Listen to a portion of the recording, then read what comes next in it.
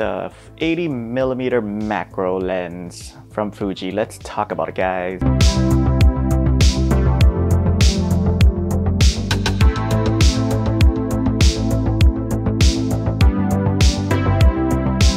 What's up guys, it's uh, Tung. I'm back again with another lens review and this time it's with this baby. So please enjoy the photos that I took. I'm going to be sharing it throughout this whole video while I'll give you my opinions about this lens, the 80mm f2.8 macro. This thing is a beast. And let me just say that I've never had so much fun shooting with a lens than I do with this one right here from Fujifilm. Oh man, the shots I was getting, the insane details, looking at these files was a joy. My eyes widened, uh, my mind was just blown, and I was just flabbergasted at everything that I captured. Like the other gear reviews I've done, it's going to be more about my experiences and how I use the lens and not so much about reading the spec sheets and the sharpness test because let's face it, if you are going to buy this lens for about almost 1600 Canadian, you want to be using this out in the real world and putting it through its paces. Real, real. Is that a lisp too? Real. Is it real? Real. Real. Real. Ah, oh, man, I'm such a fob. Let's talk about the first thing you're, you are going to notice right off the bat is the size of this thing. This thing is huge. It weighs more than one and a half pounds. Here it is besides uh, the 35 millimeter f2 and the 14 millimeter millimeter f2.8 for scale. It has so much glass as you can see. It has weather re resistance which is clutch. Who doesn't love their gear to be uh, weather resistant? Am I right? You're going to notice when you shoot with this lens that it's going to weigh you down because of its size and weight. When I tried to shoot macro stuff, by the end of it, my forearms would be a little fatigued just because of the, amount of weight there is and uh, trying to get real close to the subject uh, to get those detail shots, you are going to have to keep a steady hand. This lens has OIS, optical image stabilization, which is great because it's such a long focal length that the shakes are more visible. And I notice when I turn on the OIS, it smooths out the handling. It is less jittery and I can focus on my composition a lot better with it on. Without it on, it just looks like you just took four shots of espresso and your hands are just shaking all over the place. It's not, it's not good, it's not fun. There's also this focus range limiter. If you want to get detailed uh, close-up macro shots, you want to set this to 0.25 centimeters to uh, 0.5 centimeter because it tells the lens where to focus since this is such a huge glass it's a lot quicker this way and you once you want to get a little wider you can set it to 0.5 to infinity. There's also one more setting which is the full setting. And if you don't want to think about it the, think about the difference in distancing how close or how far you are just leave it on the full setting and it'll take care of it for you. But um, fair warning that this is a lot slower to autofocus. This way since you're telling the lens to cover the whole range and um, yeah, I never use this setting because it's so slow to just focus. Speaking of autofocusing, a lot of people online said this is one of Fujifilm's fastest focusing lens, and I have to disagree. It focuses fine once you set the range on it, but I feel it's not one of the fastest. But it's a lot better than the 56 f1.2 and the older lenses. But sometimes it just hunts, and I think it could be user error, but I get more hunting with this lens than the other lenses that I've used. And again, I think it's just because this has so much glass, it's quite long inside, so the motors inside are working harder to grab focus than the smaller Fuji lenses. Let's get on with the image quality from this lens. Priced at 1600 Canadian, you're getting Fuji's sharpest lens. It's incredible. It's insanely impressively sharp. While I was playing around with the files, sometimes I thought I was just playing with my GFX RAW files. That's how sharp it is, which is freaking amazing. I've never had more fun looking at details than I do with this lens. I'm just so amazed by this lens. I'm not a macro shooter, but with this lens, I felt like such a pro at it. I would go into the backyard or some bushes near my gym and I just started to snap away. That's what I like about this lens. It makes me want to get out and capture life, capture another world.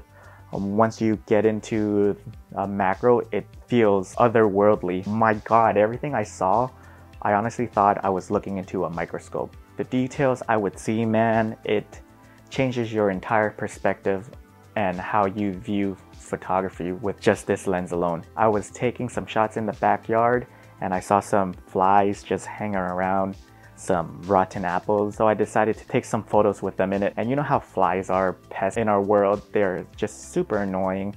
Uh, whenever you see them buzzing around you just want to kill them. You just try to find a newspaper roll it up or a fly swatter and try to like kill it squish it. But once you put on this macro lens you're entering their world. You get to see how they live. And I just thought that was pretty epic I felt like a Nat Geo photographer documenting wild animals. Mm. You see them up close and personal, you see the details in their wings, and you can see their strands of hair just growing out of their body. And you think, man, there's a whole other universe we can't see. These bugs, they, they have lives, they are living, they must hunt and feed to survive. And I just love seeing that story unfold when you're taking macro it's legit a different world. It it's otherworldly in my books. I just felt like Ant-Man shrinking down and seeing all these really small insects become so larger than life. It's quite impressive to see them blown up on my laptop screen. It's it's very magical. A tip for you guys when using this lens though, when you when using this lens, you're going to realize that shooting wide open macro at f2.8 is going to be too shallow you need to stop this lens down to anywhere from f11 to f16 to get everything in focus. Otherwise, the depth of field is so razor thin, you're gonna miss focus at f2.8. But other than macro, I also think that this is quite uh, versatile as a mid telephoto lens. At 80 millimeters, you're looking at a 120 millimeter full frame equivalent, and that makes it quite nice for portraits. During my use with it, I find it uh, very sharp, very detailed, and it was quite pleasant to use. I can say that this is by far the sharpest lens I ever tried. If you feel that this lens is too sharp for portraits, you can always unsharpen the image or you can soften out the portrait. There, there are ways around it.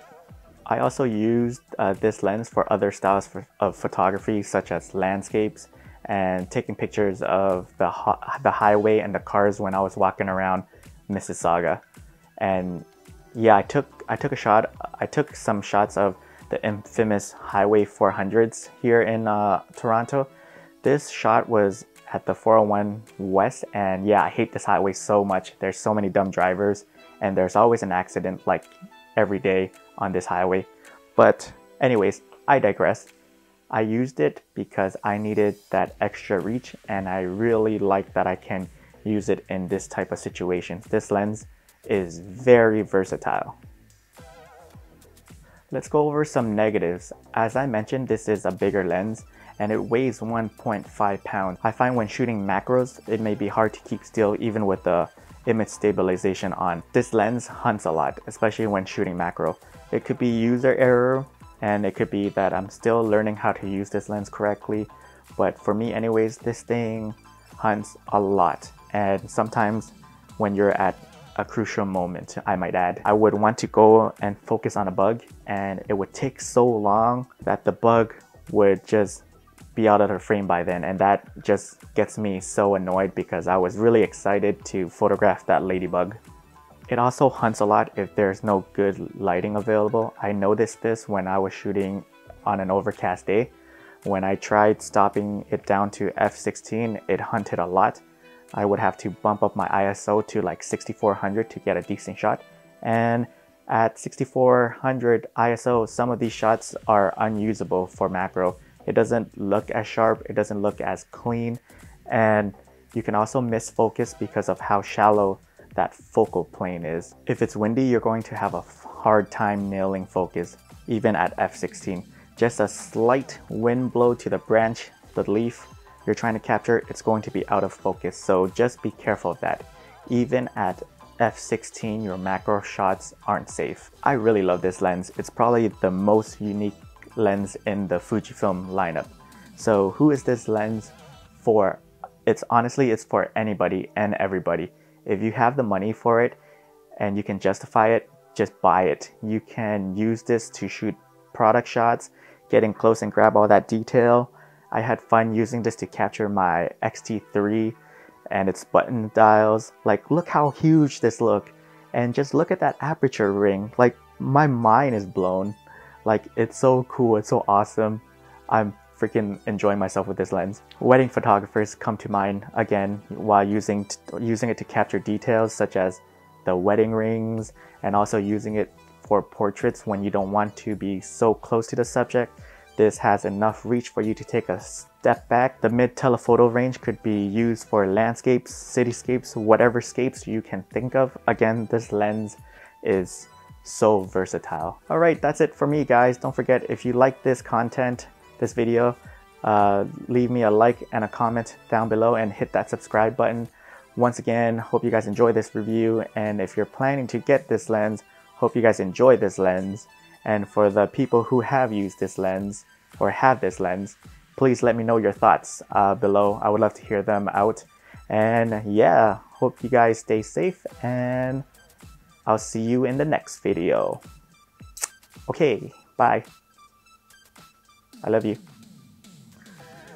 Ooh.